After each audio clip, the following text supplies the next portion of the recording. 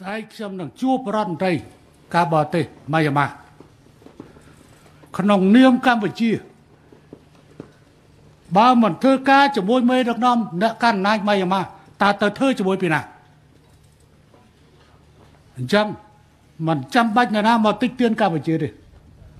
កម្ពុជាចេះធ្វើកិច្ចការខ្លួនឯងលទ្ធភាពជាច្រើនខ្ញុំនឹងទៅទស្សនកិច្ចនៅណៃពីដោ ដើម្បីជួបអារម្មណ៍សេរីមេអ៊ុយឡាំងធ្វើការជាមួយគាត់បើមិនឲ្យធ្វើការជាមួយនឹងអ្នកកាន់ណាតើយើងទៅធ្វើការជាមួយនរណាគាត់ប្រកាសចង់ប្រយជំនួយឬចង់ធ្វើការជាមួយរដ្ឋបាលស្អីស្អីគេគ្រប់គ្រងប្រទេសនាយករដ្ឋមន្ត្រីស្លូវេនីពេលដែលជួបខ្ញុំគាត់ជាអ្នកសម្បវល់សហភាពអឺរ៉ុប អាស៊ីអឺនៅក្នុងអាសាមគាត់ថារដ្ឋាភិបាលតាលីបង់នៅអាហ្វហ្គានីស្ថានអត់តាន់មានអាណាទទួលស្គាល់ទេប៉ុន្តែជាពាក់ត្រូវតែធ្វើការជាមួយនឹងអ្នកកាន់ណាយយើងមិនប្រៀបធៀបអ្នកកាន់អំណាចនៅនៅពីដោប្រធានរដ្ឋបាលនៅនៅពីដោគឺអាដាមមេឡាំ ដោយទៅនឹងអាហ្វហ្គានីស្ថានតាលីបង់ទេក៏ប៉ុន្តែជាសមាជិកគ្រួសារអាស៊ាន ត្រូវតែមានសិទ្ធិ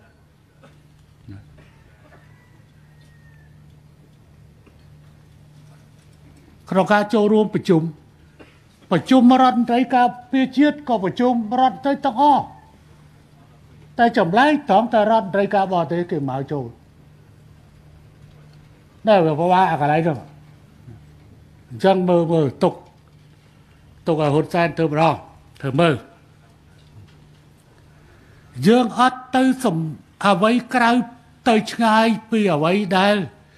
ជាគោលការណ៍រួមរបស់អាស៊ានទេ ហើយក៏ជាគោលការណ៍ធម្មន័យអាស៊ានដែលមិនជឿជ័យកិច្ចការផ្ទៃក្នុងផងគ្រាយើងមិនអាចទៅហួសពីនេះទេហើយកុំយករូបមន្ត អង្គការសហជីវជាតិយកមកដាក់ជារូបមន្តរបស់អាស៊ានអត់ត្រូវទេនៅអង្គការសហប្រជាជាតិមានគណៈកម្មការពិនិត្យសារតាំងតែនៅអាស៊ានវាអត់មានគណៈកម្មការពិនិត្យសារតាំងឯងបើហៅប្រជុំហៅទាំងអស់គ្នាមកបើថ្នាក់រដ្ឋមន្ត្រីហៅរដ្ឋមន្ត្រីបើថ្នាក់កម្ពុជាទៅកម្ពុជាវាត្រូវអញ្ចឹងត្រូវអញ្ចឹងតើយើងសុកចិត្តដុតផ្ទះខ្ញុំនិយាយជាមួយរដ្ឋមន្ត្រីការបរទេសឥណ្ឌូនេស៊ី យ៉ាងច្បាស់ហើយក៏និយាយជាមួយនាយករដ្ឋមន្ត្រីជប៉ុនដែរ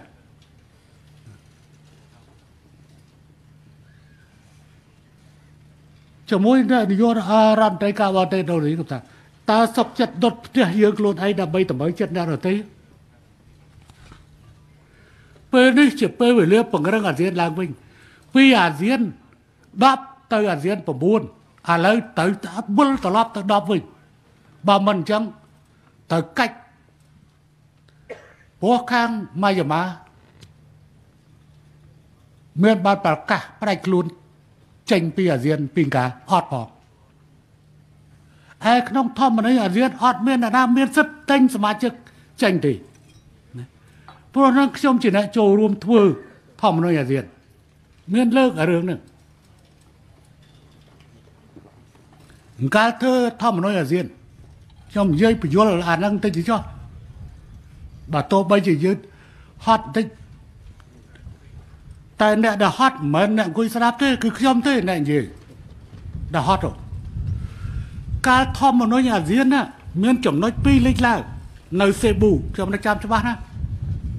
2007លោកជំទាវអារយោជាអ្នកប្រធាននៃប្រទេសហ្វីលីពីននៅពេលនោះ ចំណុច2លេចឡើងទី1បើសម្រេចមិនបានតាមកងសង្ស៊ីត្រូវធ្វើការបោះឆ្នោតទី2អាស៊ានមានសិទ្ធិដេញសមាជិកចេញនៅពេលដែលកសាងកំហុសធ្ងន់ធ្ងរខ្ញុំនាំមុខពេលនោះខ្ញុំជាអ្នកនាំមុខជាមួយនឹងឡាវ វៀតណាមម៉ាយ៉ាម៉ាខ្ញុំនៅដល់មុខខ្ញុំថាមិនបានទេយើងធ្វើការតាមកងសង្ស៊ីនឹងមានសាមគ្គីភាពជាងប្រសិនបើមានការបោះឆ្នោតគឺមានសម្លេងភាគតិចនិងសម្លេងភាគច្រើនដូច្នេះគ្រោះថ្នាក់ណាស់នៃការបែកបាក់របស់អាស៊ានអញ្ចឹងចំណុចនេះត្រូវបានធានានៅក្នុងធម្មន័យអាស៊ាន ហើយចំណុចទី2ខ្ញុំមិនយល់ស្របប៉ុន្តែខ្ញុំចោតចេញជាសំណួរខ្ញុំថា ទី1អ្វីទៅជាកំហុសធ្ងន់ធ្ងរតើជារដ្ឋបហាយោធាមែនទេនេះជាចំណុចទី1ចំណុចទី2អ្នកណា ជាអ្នកទៅវាយតម្លៃថាធ្ងន់ធ្ងរឬមិនធ្ងន់ធ្ងរ បងហៅនំនៅចាំបងឯងរដ្ឋមន្ត្រីការបរទេសនៅពេលនោះ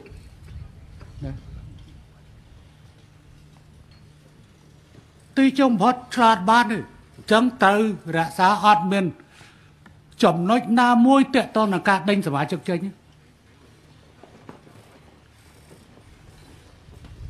ខ្ញុំសូមបញ្ជាក់កម្ពុជាសមាជិកថ្មីរបស់អាស៊ាន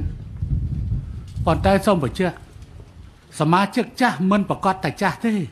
ដោយសារមេដឹកនាំថ្មី សមាជិកថ្មីមិនប្រកាសថាថ្មីទេ ដោយសារមេដឹកនាំវិចាស់អញ្ចឹងសូម្បីតែសុលតង់ប្រុយណេព្រះអង្គក៏ទទួលស្គាល់ថាត្រូវទៅព្រះអង្គមានតែនាយកហ៊ុនសែនទេ ដែលគេតែចាស់ទុំអញ្ចឹងបានថាត្រូវមានកងសង្ស៊ីទៅប្រជុំនៅហ្សាកាតា ហើយនៅក្នុងហ្សាកាតាហ្នឹងខ្ញុំក៏ជាអ្នកប្រួយប្រាំកំណត់លើអាកងសង្ស៊ី5ចំណុចនោះទៅទៀតដែលជាការដោះស្រាយបញ្ហា នៅក្នុងក្របខ័ណ្ឌបទរបស់យើងហើយខ្លះលើកអីណាសិតតែស្អីណារឿងស្អីណារឿងតះរឿងទុកវាមកក្របទុកផ្សាយនេះខ្ញុំចង់ស្ដាប់រដ្ឋមន្ត្រីការបរទេសដោយផ្ទាល់ អញ្ចឹងបានស្អែកខេងយើងត្រូវជួបគ្នាហ្នឹងគឺថាម៉ោង10 10នាទីព្រោះខ្ញុំប្រហែលជាឲ្យរុញគណៈបពូទៅមុនបន្តិចព្រោះត្រូវនិយាយច្រើនត្រូវនិយាយច្រើនប៉ុន្តែយើងទៅភាសាគ្នាណាជួបជាប់ភ្ញៀវហើយបើបើសិនជាទៅមុតក៏ទៅចាំនៅក្នុងនោះមុនណាខ្ញុំជួបហើយយើងទៅចែកគ្នានៅក្នុងភាសាគ្នាបន្តិច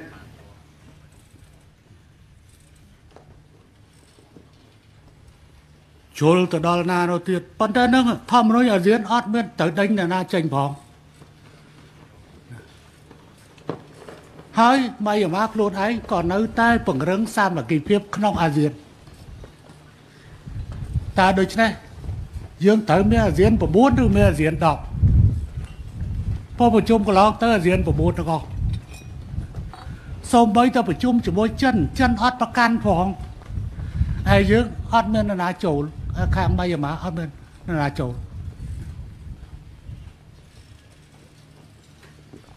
អង្គការសហប្រជាជាតិសឹងរចនាសម្ព័ន្ធអង្គការសហប្រជាជាតិមិនមែនជារចនាសម្ព័ន្ធរបស់អាស៊ានមិនត្រូវយក model របស់អង្គការសហប្រជាជាតិមកដាក់ខាងភៀកគីណាក៏អត់ឲ្យចូលមែនទេអត់ហើយមានតែវិធី តែមួយគត់គឺធ្វើការជាមួយអ្នកកាន់អំណាចនេះជាសារមួយដែលជូនហេតុអីបានលោកហ៊ុនសែនបានរដ្ឋមន្ត្រីការបរទេសកម្ពុជាអញ្ជើញមកអញ្ជើញរដ្ឋមន្ត្រីការបរទេសម៉ៃយ៉ាម៉ាមកហើយលោកហ៊ុនសែនជួបជាមួយរដ្ឋមន្ត្រីការបរទេសម៉ៃយ៉ាម៉ាមានន័យថាម៉េចនេះជារដ្ឋអធិបតេយ្យដែលមានសិទ្ធិនឹងធ្វើកិច្ចការតកតងនឹងតំណែងតំណងពេលវិគីផង ហើយក៏ស្វែងយល់អំពីអ្វីទៅ ដែលជាចំណុចត្រូវឈានទៅមុខក្នុងក្របខ័ណ្ឌកងសង្ស៊ី5ចំណុចរឿងវាតែប៉ុណ្ណឹងកុំតែនាំគ្នាថាចំមិនក៏ចឹងណាសួរថាមិនចឹង អើអញ្ចឹងវាចឹងហើយវាអីទៀត